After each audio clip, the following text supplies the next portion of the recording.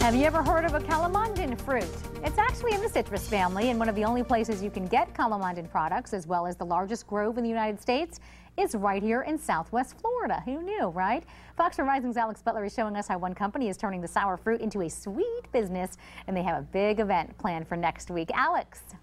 Yes, Miriam. Okay, so I know that you saw earlier, I made my photographer try these so that you could really get a sense of just how sour they actually are. Good sport Will was. All right, so these are pretty sour, but the great thing is once they cut those open, as Joanne's doing over here to your right-hand side on the screen, you can see they have to do that to every single calamondin. They squeeze the juice out, and that juice that they get out of there, they turn into all these magical products on this table. We've got cakes. What all kinds of stuff do we have here, Linda? Cake, coulis, and jam. We make a salt. We've got candied fruit peels. The whole nine yards. Tons of different stuff that you can get here at the Calamondin Cafe, and it's one of the only places you can get it in the U.S. All right, I want to put up the info for you so that you know May 14th, you come out here Tuesday, there's going to be a huge event. They're going to be teaching you how to make all kinds of things, frosting, ice cream with this stuff so you can make it for parties for your friends and all kinds of good stuff. And you can even win a really awesome basket of free stuff, which You'll have to enter to win, which is here that I've got with me this morning. All right, real fast. We're just going to show you the frosting. We got about 30 seconds, so I just want to show everybody at home. Right here, this is the frosting.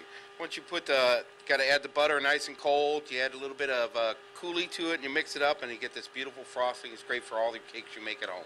All right, and on top of that, I just want to say there's all kinds of great stuff. They even have these over here. What are these called? Candy tops. Candy tops, where they take the, t- listen, they don't waste any of this fruit, okay? They take the juice, they take it all out. All right, we're going to throw it back to you, Miriam. I just want to say, if you want to try this out, come out May 14th, and you could win this basket of goodies. That looks good. And I like, can I get the hat Yes. too?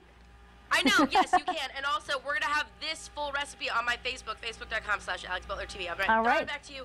I hope they don't run after me because I'm trying to take this. All right, cool. Yeah, don't steal that, Alex.